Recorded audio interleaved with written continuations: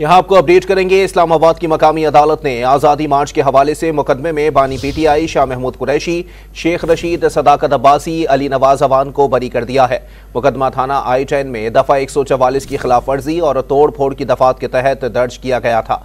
मजीद जानते हैं don news के नुमाइंदे उमर बर्नी से। उमर, मजीद बताइएगा। जी, बिल्कुल जुडिशल मजिस्ट्रेट मलिक मोहम्मद इमरान ने महफूज फैसला सुनाते हुए बानी पीटीआई शेख रशीद अहमद, शाह महमूद कुरैशी, अली नवाज़ जवान और दीगर के खिलाफ आज़ादी मार्च के हवाले से थाना आई नाइन में दर्ज मुकदमे में मुलजिमान को बरी कर दिया है।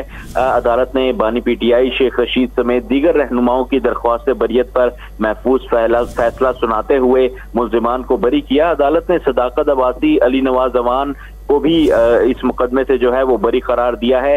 बानी पीटीआई शेख रशीद अहमद और दीगर पर दफ़ा एक सौ चौवालीस की खिलाफ वर्जी तोड़ फोड़ की दफात के तहत 2022 में ये मुकदमा जो है दर्ज किया गया था, जिसमें आज अदालत की जानब से बानी पीटीआई शेख रशीद अहमद, शाह महमूद कुरैशी और दीगर को जो है इस मुकदमे से बरी करार दे दिया गया है। जी। बहुत शुक्रिया उमर बर्नी अपडेट करने के लिए।